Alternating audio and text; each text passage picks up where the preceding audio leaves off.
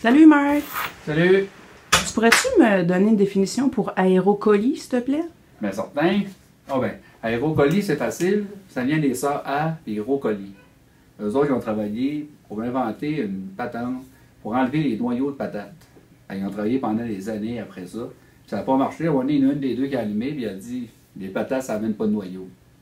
Triste pareil, hein? C'est pas ça, Marc. Ben non, c'est au bec C'est pas ça. Ça vient de la France. Quelque chose de sérieux. C'est les frères Terriers qui ont inventé ça. C'est les frères Alain et Alex. Puis, eux autres, ils voulaient inventer une méthode pour transporter les colis de la France, faire traverser l'océan pour aller, par exemple, en Amérique du Nord. Là, ils ont, ils ont travaillé fort. Puis là, Alain, il a dit, à l'intérieur, il a dit on va faire ça en nage, je vais tirer les colis, puis ils vont se rendre de l'autre côté. Ça n'a pas d'allure.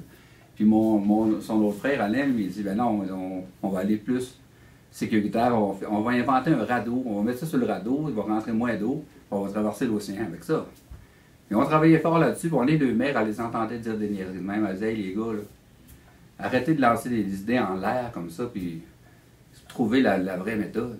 Là, mon Alex, lui, il a fait avec 2 plus 2 égale 7 des idées en l'air. Fait qu'ils disent, on va inventer, ils ont inventé finalement l'avion cargo. Fait que pour transporter les, les colis. Fait qu'ils ont appelé ça euh, aéro, colis. Ou j'aurais appelé ça postérieur. Ben, pas Ça fait pas de sens, Marc. Ça fait pas de sens beaucoup, hein. C'est sûr que ça fait pas de sens. Parce que la vraie définition euh, officielle, ça vient d'Italie les Italiens, des fois, ils ont connu des périodes difficiles, puis il manquait d'argent à la guerre, tout ça, puis ils voulaient manger quand même. Fait qu'ils ont inventé une sorte de grosse pâte italienne en forme, en forme de nouilles. Puis c'était plein d'air. Tu sais, air, tu sais, comme les, tu te rappelles, les, les aéros, les barres chocolat aéro, je sais pas si tu manges ça. Mm. C'est plein d'air là-dedans. Fait qu'ils ont dit, ah, oh, aéro. Puis là, ben, aéro, ben fun, mais là, ils ont dit, on va donner une petite touche italienne à ça. Aérocolis. Hey, maman, on mange des aérocolis pour souper? Bien sûr, avec beaucoup de sauce, mon Bob. Ben voyons, Marc.